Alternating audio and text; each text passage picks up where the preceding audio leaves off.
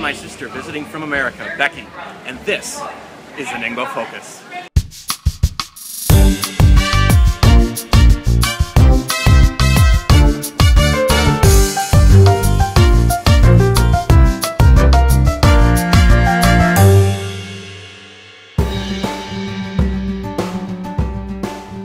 Life in China is not like any life I've ever lived.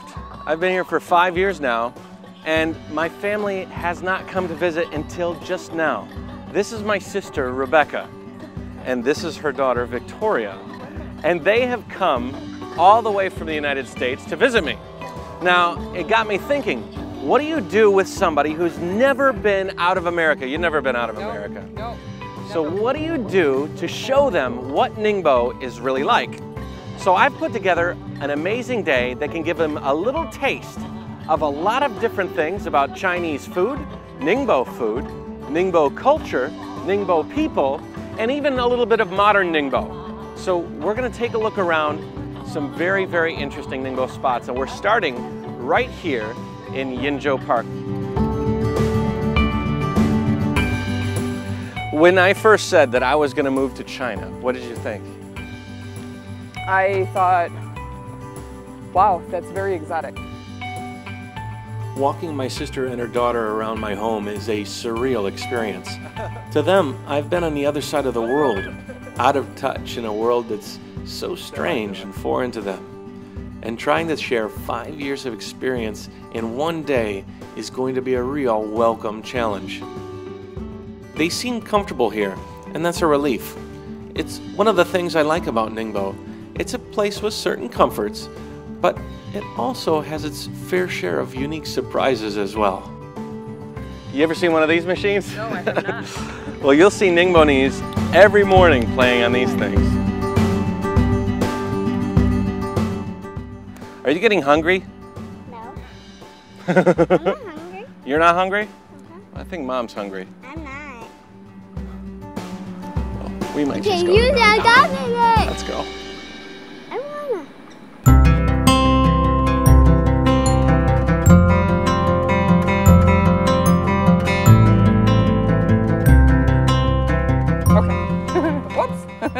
All right, you don't know this place? no, what is this place? You know this place. This was in episode number one. Oh, Nantang that was a long time ago. Yeah, that was a long time ago. But I think this would be a really good place to get a quick breakfast and then continue our little tour of Ningbo. Wonderful. I'm So- I'm hungry. You're hungry? I'm hungry. She's very hungry.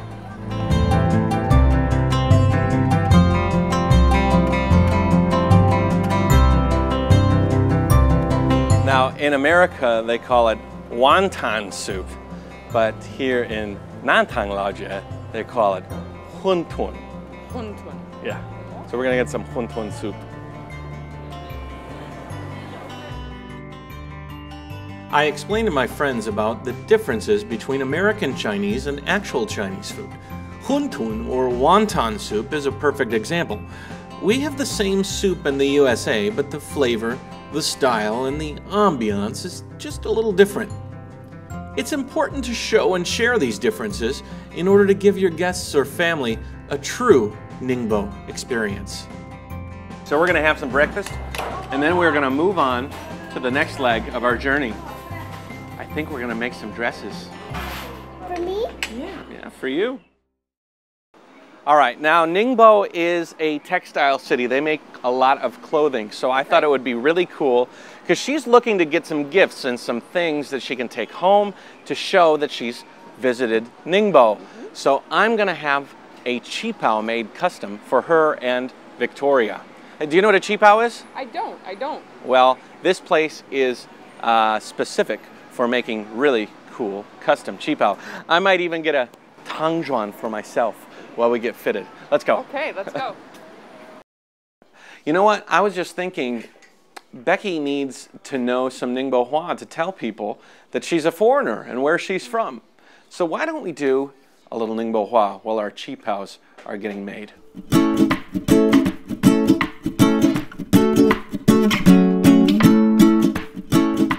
All right, Becky, you've been here in Ningbo, and I think it's important that you tell people that you're a foreigner.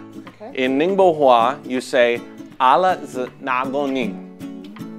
Allah znagoning. Ala is like saying I, z is is, and nagoning is foreign person. Uh, guo ning can be broken down as well. Guo is country, ning is person. So you can also formulate American person by saying my goning. My goning My is beautiful because we come from a pretty beautiful country, right? Right. Sure. Okay. so if I was to ask you, now zi so di fo ning, you say My goning. perfect. Oh no no no，好久不见，这是我的姐姐。 Allah nagoning. Ah, so di ba ning? My goning. American. Perfect. All right, we want some qipaos. yeah, qipaos. You like this one? I like this color. Oh. Very pretty too. I want to get this. I want to get this kind of dress. Yeah. This one's softer. Yeah. Okay. Well, you can pick whatever material you want, okay. and they can put it in whatever form you want. There is no piece of clothing that is more symbolic of Chinese culture in my mind than a qipao. For a Westerner, a qipao that was handmade for them in China represents the perfect, sophisticated gift to take back with them to the other side of the world. All right, so they want to buy some more gifts. Their qipaos are going to take a couple of days, but they're all measured up, and they picked the, the colors they wanted. And so we're to go pick some really cool Chinese gifts in the market. Ready? Let's go. Let's go. It's really tough to buy gifts for friends when you go back from China because almost everything that you buy in the world is made in China. China.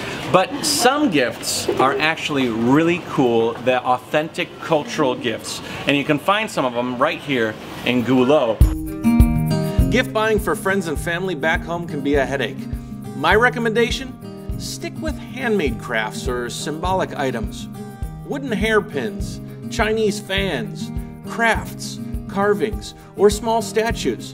Even religious or cultural relics can make the perfect gift to loved ones back home. My thoughts the more exotic, the better. This would be fun for a game. Don't mess with me. All right, let's keep going. Okay, Beck, you've done a little shopping, you've bought some gifts, and I have picked out a really cool place. I think one of the coolest places for lunch in all of Ningbo. It's called the Modern Restaurant, Okay. and it's modeled after traditional Shanghai courtyard style eating Okay. from ancient China. Sounds so let's good. go eat. Sounds good.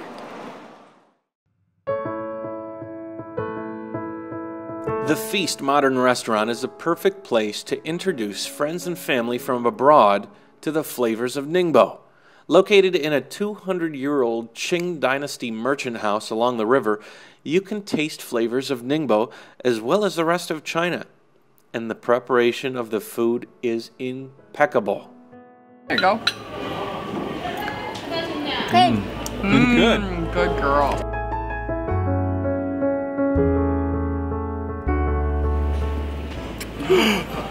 the earworks, huh? Wow. In America, eating is mostly individualistic, with each person getting only one plate to eat from. But here, you can keep the feast rolling and sample as many dishes at one time as you want. This is one of my favorites. For me, it's a chance to give my sister and Victoria an opportunity to sample some of the flavors that I've grown to love so much. It's funny, I think I'm having more fun watching them enjoy the food than actually eating it myself. That was a fantastic meal. What did you think of that? Probably the most amazing meal I've ever had in all of my life. No joke. That is a that is a great testament for modern restaurant.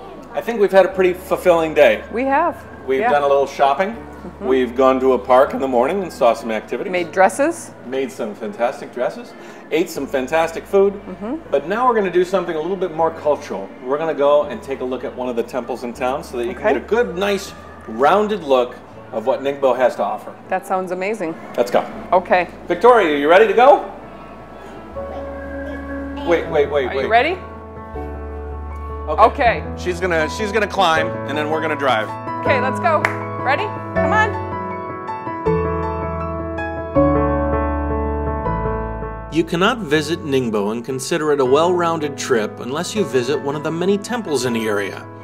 So I took my sister and Victoria to the King Asoka Temple in Yinzhou, or in Chinese, Ayuwang Si. It was an extremely hot day, which made the trees and the shade that much more inviting. The Asoka Temple is very old, with a history dating back over 1700 years. It's one of the most important and largest Buddhist temples in the area, helping to enhance the popularity of a religion in China. Many pools dot the large grounds and are filled with hungry fish and turtles, and Victoria had a great time feeding and watching them. In America, we don't have the history needed to produce such beautiful cultural architecture.